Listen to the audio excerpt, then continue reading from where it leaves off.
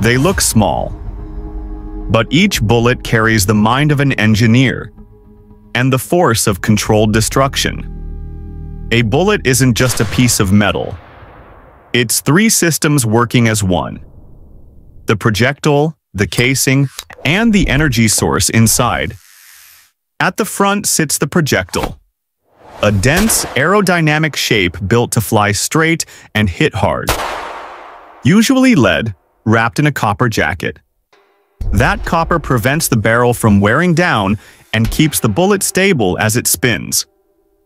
Behind it lies the casing, often made of brass or steel. It's more than a container, it's a seal.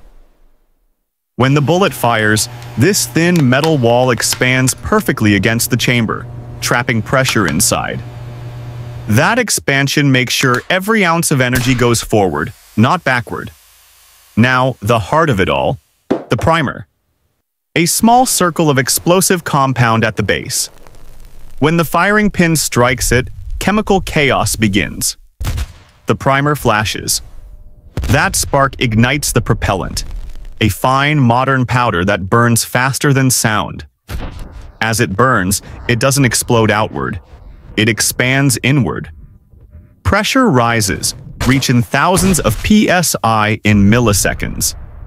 The gas has only one escape, pushing the bullet down the barrel. Rifling grooves carved inside spin it like a top, giving it balance and stability through the air. In that instant, physics and chemistry shake hands. Potential energy becomes motion. A silent machine turns a spark into supersonic flight, Every angle, every material, every microsecond is tuned. Too much powder, and the gun shatters. Too little, and the bullet fails to leave the barrel.